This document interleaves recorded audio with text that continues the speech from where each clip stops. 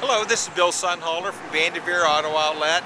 This is M9831. It's a 2010 Dodge Charger. Of course, it's in a bright red. It's a uh, Hemi.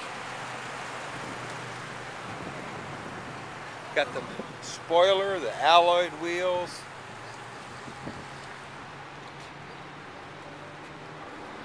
Moonroof on top here.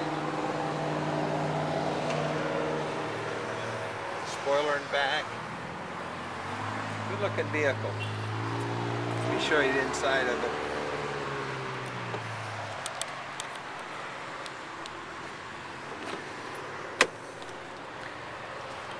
Has all the uh, windows, door locks, power mirrors.